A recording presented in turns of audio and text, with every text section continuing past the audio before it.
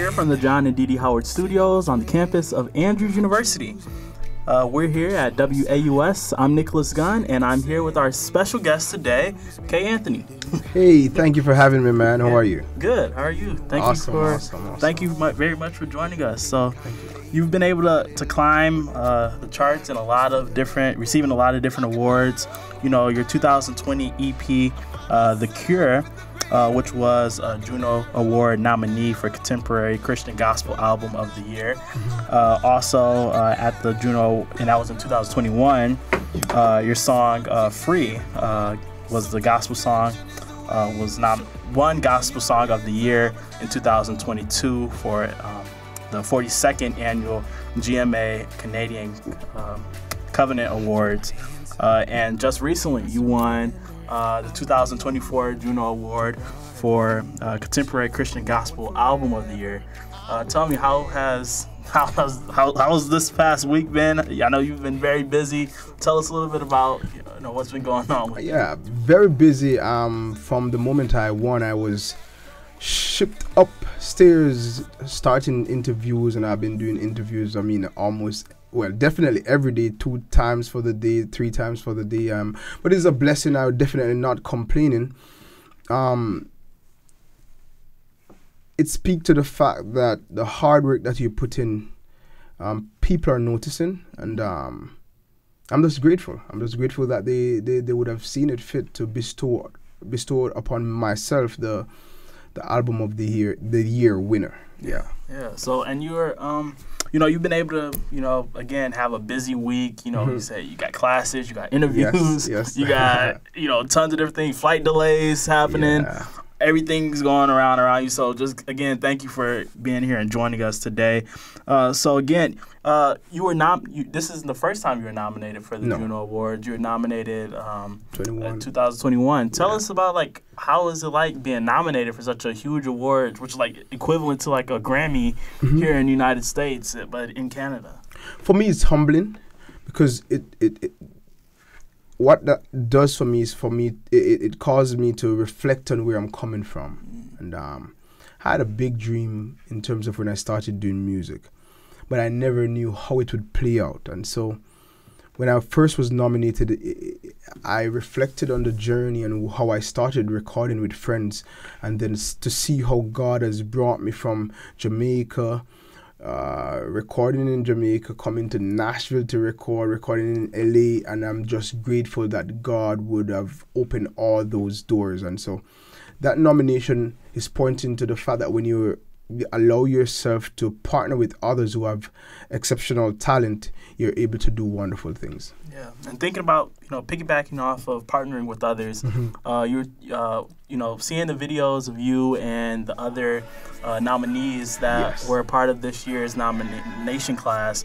Uh, you guys came together. You guys were singing. I mean, it looked so cool. like, tell me a little bit yeah. about that great group.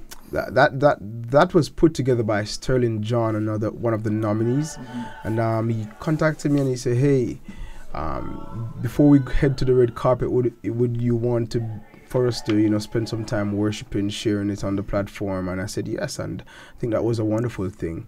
Um, uh, at the end of the day, you would have had one winner in terms of going home with a trophy, but we are all winners as Christians, and so it was a beautiful moment to spend as brothers and sisters. Yeah, and tell me a little bit about you know once you you know, won that award. Tell me a little bit like going up on stage and, you know, receiving that award and, and everything.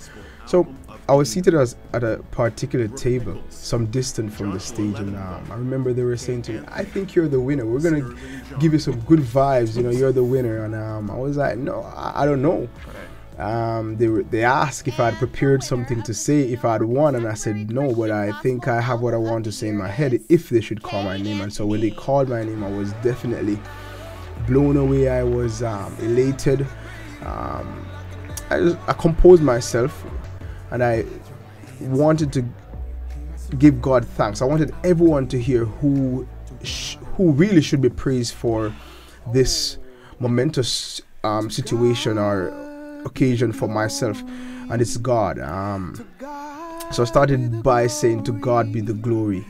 Um, thanking my family because they have been a great support to me.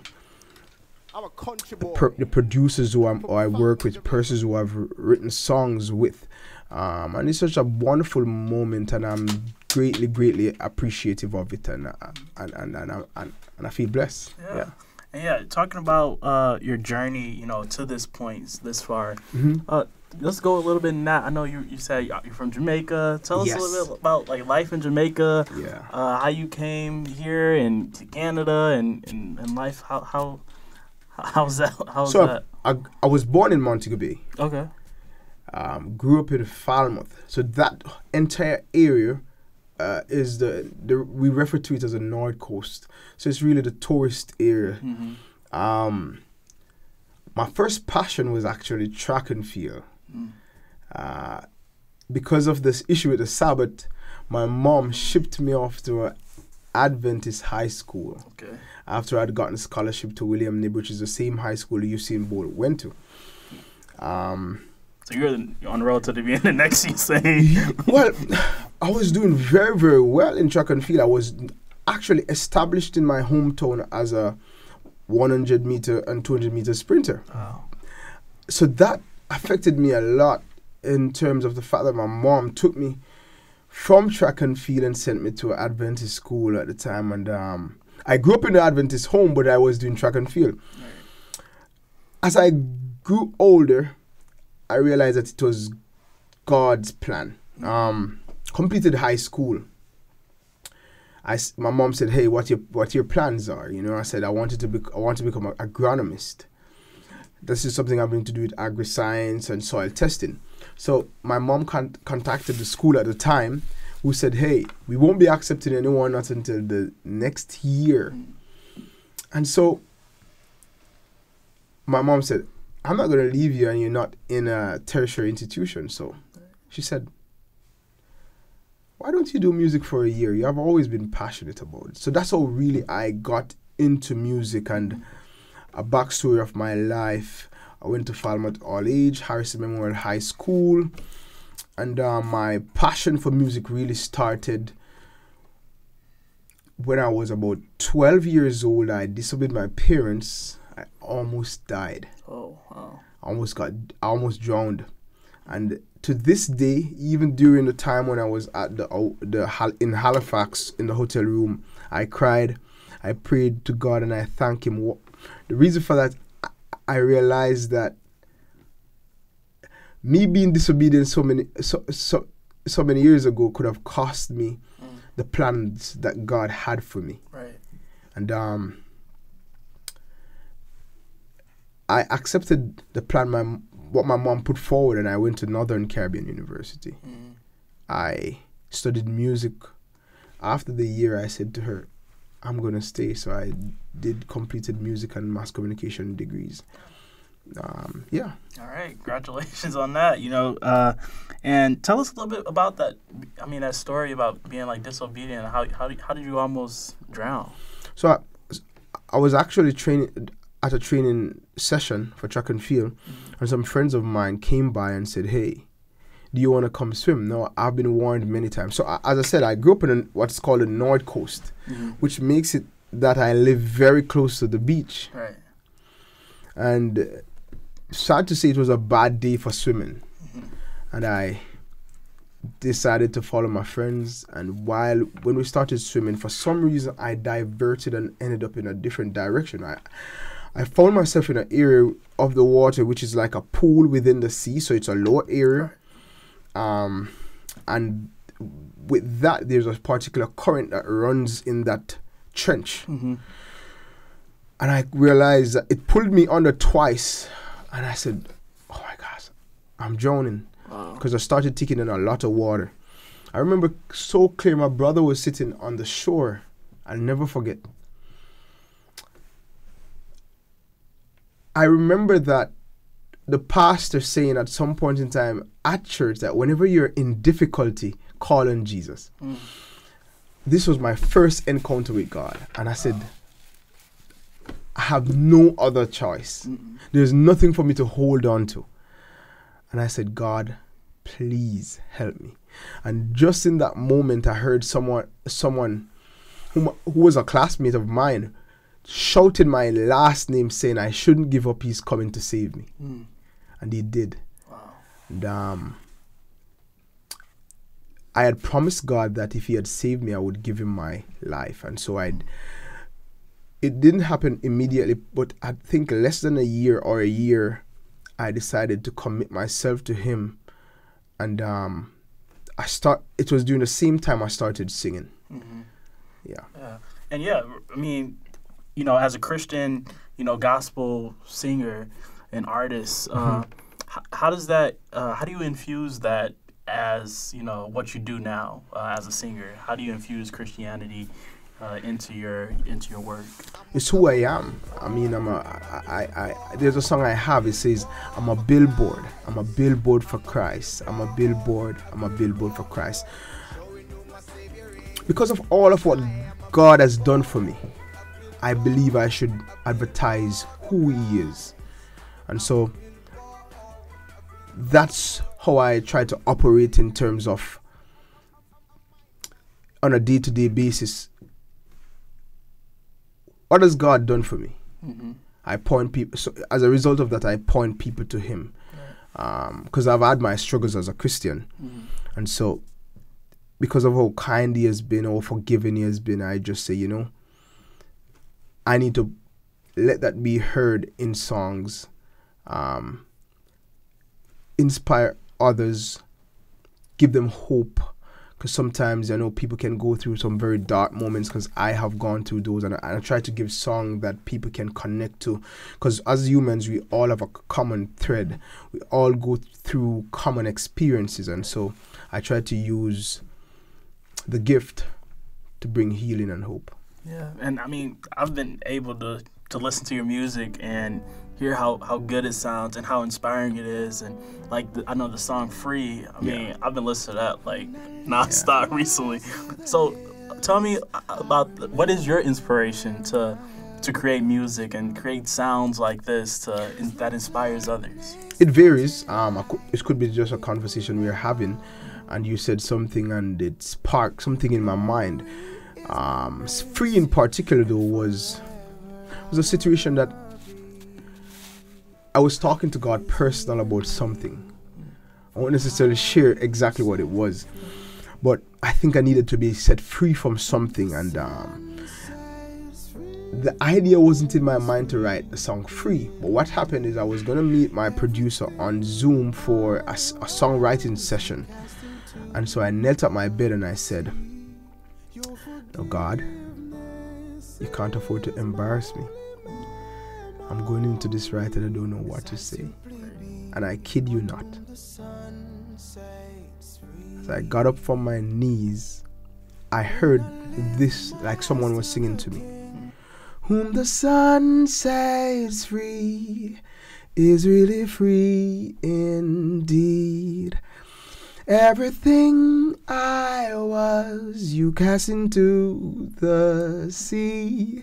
Your forgiveness is my only memory. Cause I simply be one whom the Son sets free. And I went into the right and he said my, my producer said, you, Do you have anything? And I said and I said it back to him. I said, Do you have anything? And then I said, You know what? I have something. And he said, Why do you sing it with closed notes at the end? And I said, Explain. And he said, Why don't you sing it? Whom the Son sets free is really free indeed. And it made so much more sense because it gave this uh, sense of freedom because of the how the notes um, parted at the end. And um, it was a wonderful experience. We actually wrote three songs within in less than an hour and a half Wow.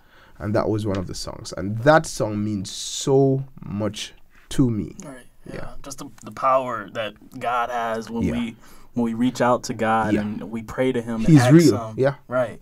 Uh, and you're you're doing all so you, again you're doing all this uh, while you're a student here. Well actually i i i, I, released I I, recorded and released free before i came here Mm-hmm.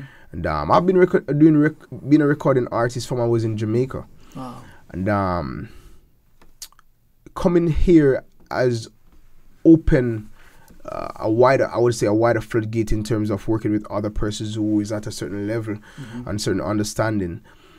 Um, and focus for myself, I always want to be in a room where I'm not the biggest voice, Mm. but someone in the room is actually more talented, has more knowledge than I do, Mm-hmm. and so God has afforded me that. Um, so I recorded that song, I think, in 2019, if I'm correct, and um, did the video, an awesome video that expresses what the song is saying. John 8:36, whom the Son sets free. Mm-hmm. That sin sometimes have us bounded and blind, and only Jesus Christ can set us free. Right.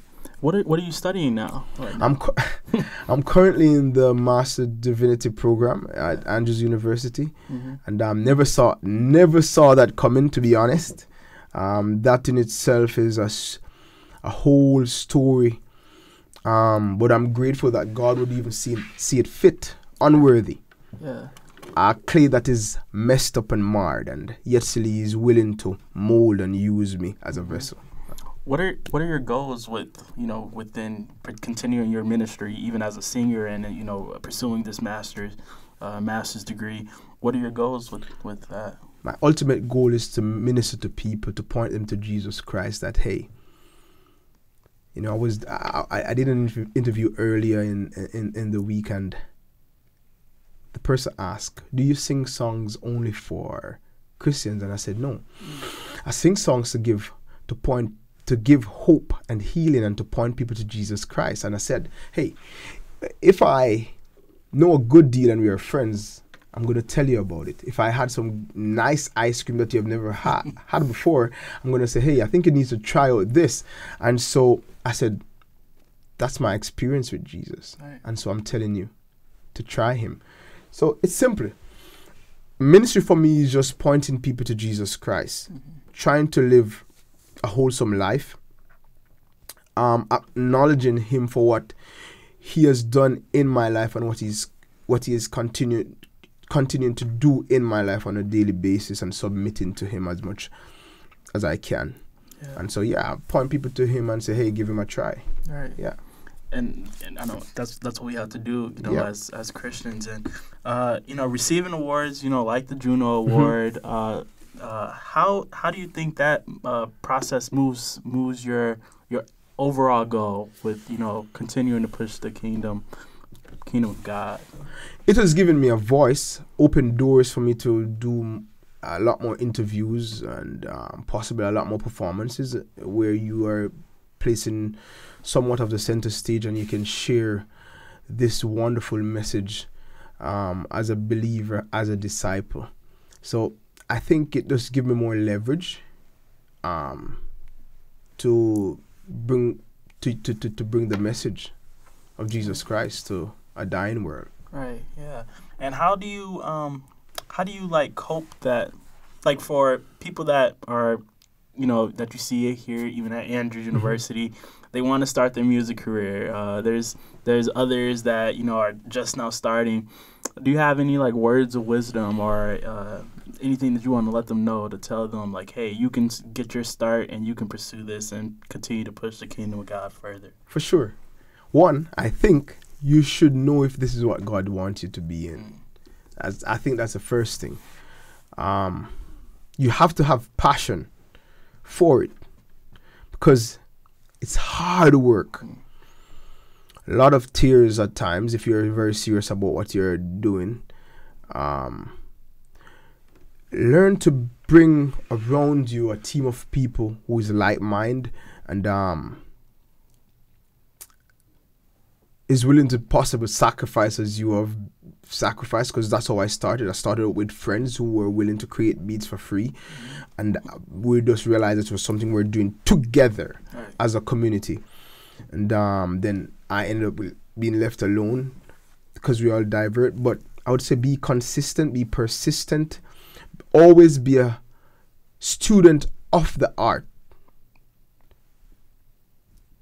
so that you can always be learning. Never act like you know more or less, but you just say, hey, listen to whatever point point someone has to share or, or give to you. Um, have a high standard of what you want to to, to, to, to achieve. Mhm. uh, that's something that people know me as has known me for. Um, I, I, I make comparison. I don't necessarily compare, but I look at the industry standard, see where where I'm at, and I work with people who I think can bring me to that place. Why? Because I'm appealing to the wider audience. Mm-hmm. I will say this I never plan to sing music to my family. I plan to mu- sing music to thousands of people. Mm-hmm. And that's not said in a boastful way, it's said in a way because I know of whom I believe in, and so I want to share it, not just with one person. My hope is that many persons in, would, would, would be able to be captured by the message that I have to bring. Um, just partnering with people. Mm-hmm. Um, yeah, and just working hard. Mm-hmm. That that first point you made about you know again like creating a support system. Yes. Uh, when you went up to receive your award, you also talked. Uh, you gave shout outs to you know what may be your support system. That's right. Uh, tell me, tell me a few of those people, and tell me a little bit about your you know how they've get you to this point? my parents is my biggest support system. I'm gonna, and my dad is a great dad. My parents are still married, so I don't want it to sound crazy. But my mom is is genuinely so influential in me doing music. As I tell you the story, it was my mom's idea for me to do music, and I personally felt like the Holy Spirit spoke through her for me to do music. Um. So she's my biggest support, I would say. Right my wife is my cheerleader like she has had me down for a while and so it means so much to me my kids. Um they generally most of the times hear the song first so they will share if they like something or not. Right. um my brother my as i mentioned my dad um the producers that i've worked with uh, they are the one who allow it to, to be possible my great friend in Canada who he he would just call me and said, "Where?" Uh, especially if he heard a song and think, "Man, this song hits home." He would just call me and say, "Hey, bro, there's some money sent to your account. I want you to use it to pay for the mixing." So th- I couldn't do it by myself. Right. So it's a community that I've had around me for quite some time that have helped me to achieve all of this. Yeah. And I'll say, um, out of all the projects and songs that you've been able to produce and work on, what would you say is the most touching to you? Yeah. I'm going to tell you. So there's a song I have titled Don't Give Up. You should check it if you have if you haven't. I wrote that song when I was extremely depressed. And um, I remember with the, with someone said to me, there's two songs. Someone whom I know contacted me and said, I don't think you know how impactful you are. You are. said, I've been so depressed and this song get me through the day that means so much to me. It's it means more than any um, concert hall I can perform in. I think the biggest one is some years ago. Uh, I was still in Jamaica. I have a song titled "Already Better," and I had some issues with it. I don't. I won't get into it. Uh, where someone I'd make some claims to the song I forgive the person. And um, the reason why I didn't pull the song, someone wrote under the under the song, and God allowed me to see it, and I felt impressed to reach out to the person and ask them their story. So I reached out to the person and said, "I'd like to talk to you." And the person said, "I said I'm the writer for the song." And the person contacted me and they said, "Hey, I got called into the doctor's office and was told that I was HIV positive. Wow. And she said, when I got out of the doctor's office, I was devastated. She said, as soon as I turned the car on, she said that song came on. Because she, she said she was thinking to just drive off into the traffic.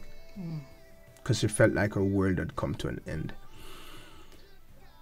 And that was a wow moment for me and to see the impact that one can have through singing songs that inspire and give hope and speak of a savior who loves people. And so yeah, those are two probably of my biggest moments. Yeah, to some to somebody that's you know dealing in a deep, you know, deep time in their life, a Mhm. deep, deep moment of depression. How do you think you know as an artist, uh, how can somebody get over that? It's not over until God says so. So don't you give up now. Don't you give up now, yeah. Darker days are just before the dawn. Don't you give up now. Don't you give up now. Just know that after every rain, the sun is sure to come out. And so your situation won't stay the same. Trust God with all your heart and lean not to your own understanding, but in all the ways acknowledge Him, and He will direct your path. Path. Just have faith and know that God has your back. For sure. Amen. Well, thank you so much for you know giving me some of your time. Yes. Uh, and is there where can people find out more about you? Where can we get some more great music uh, from Mr. K. Anthony? Well, you can follow me on Instagram at K Anthony Live, Facebook.com K Anthony Live. Um, on Spotify it's K Anthony, on Apple is k-anthony, Uh, on Twitter is K Anthony Live. On my website is K, Anth- Anthony Live Music. So, yeah, any there you have upcoming any upcoming performances or Should be performing in Canada. Um, I sh- I was invited to per- to perform locally here in Michigan next to next week Saturday night. Um, yeah, and, and they can always follow on the website and see where I'm performing next. All yeah. right. Well, sounds great. Well, thank you so much, and it's been a pleasure. Uh, anything else? Any last words you'd like to to give to our audience? Hey, life sometimes can be hard. However, look at the glasses half full instead of half empty. Be positive and know that you will make it. You can make it. It all starts with the mindset and trust in God.